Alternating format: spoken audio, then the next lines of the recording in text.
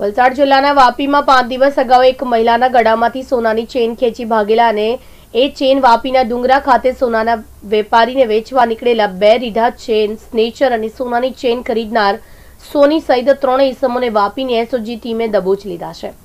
પકડાયેલા ઇસમો આ પહેલા પણ અગિયાર જેટલા સ્નેચિંગ અને પ્રોવિઝનના ગુનામાં સંડોવાયેલા રીઢા અપરાધી છે. પોલીસે તેમની પાસેથી એક લાખ ચોસઠ હજાર પાંચસોનો મુદ્દા માલ કબજે કરવા સાથે કુલ છ ચોરીના ભેદ પણ ઉકેલ્યા છે. વાપીમાં દોઢેક મહિનાથી રાહદારીઓના ગળામાંથી સોનાની ચેન ખેંચી બાઇક પર ફરાર થઈ જતા સ્નેચિંગ ગેંગ સક્રિય થઈ હતી. જેમાં પંદરમી મેના વાપીના એક મહિલાના ગળામાંથી પણ સોનાની ચેન ખેંચી હોવાની ફરિયાદ નોંધાઈ હતી.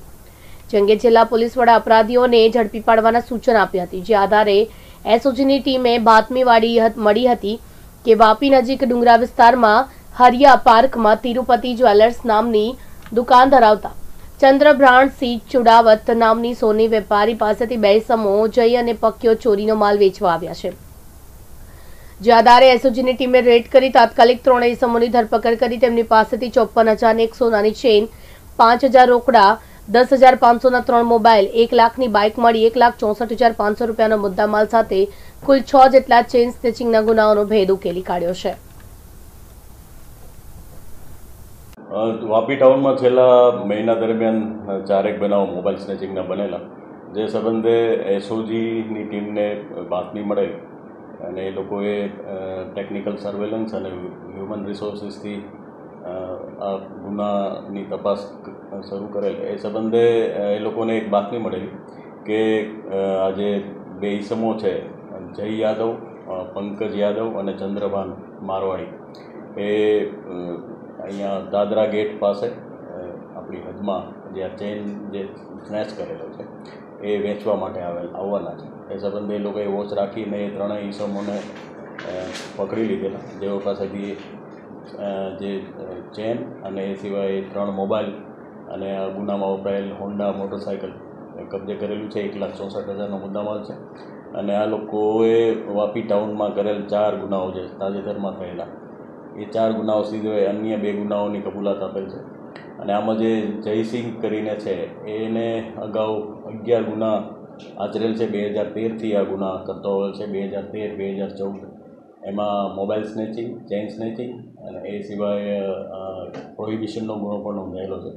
એટલે આ રીતે જે એક સતત જે બનતા ગુનાઓ છે એને એસઓજીની ટીમે પોતાની સર્વેલન્સ દ્વારા પકડી અને હાલ ગુના બનતા અટકાવે છે. એમાં એમાં એવી છે કે એકલ લોકલ કોઈ વ્યક્તિ જતો હોય સ્પેસિફિક આજુબાજુ માણસો ન હોય. એવા વ્યક્તિને ઈશમને ટાર્ગેટ કરી અને એની નજીક જઈ અને એના ગળામાંથી ચેન ખેંચી લેતા હતા. અને પછી જ્યાં પોલીસની કોઈ ચેકપોસ્ટ ચેકિંગ કે પોઈન્ટ ન હોય, ત્યાંથી એ લોકો પસાર થતા હતા. એવા રસ્તેથી બહાર આવીને હાઈવે પર ચડતા હતા.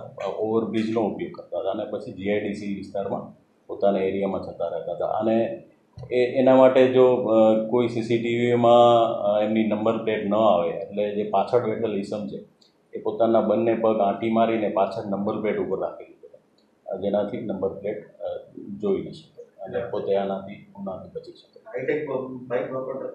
આ હોન્ડા હોર્નેટ કરીને જે એકસો પચાસ સીસી ઉપરનું બાઇક છે એ એનો ઉપયોગ કરતા સાહેબ ખાસ કરીને આવો માલ જે સોની પકડે છે તો એ માટે થઈને એની સામે શું કાર્યવાહી થતી હોય છે? અને આ જે સોનીએ આ માલ ખરીદ કર્યો છે તો એની સામે આ પહેલાં પણ કોઈ ગુના નોંધાયેલા છે? સોની સામે અમારી તપાસ દરમિયાન હજી આ પહેલ પ્રથમ ગુનો હોવાનું જણાય છે. પણ જેટલા જેટલા આ ગુનામાં એને મુદ્દામાલ સ્વીકાર્યો હશે ચોરીનો એ તમામ ગુનામાં એને એરેસ્ટ કરવામાં આવશે અને અત્યારે આ ગુનામાં સ્પેસિફિક એને એરેસ્ટ કરવામાં ચાર ગુનામાં એને એરેસ્ટ કરવામાં આવેલો છે.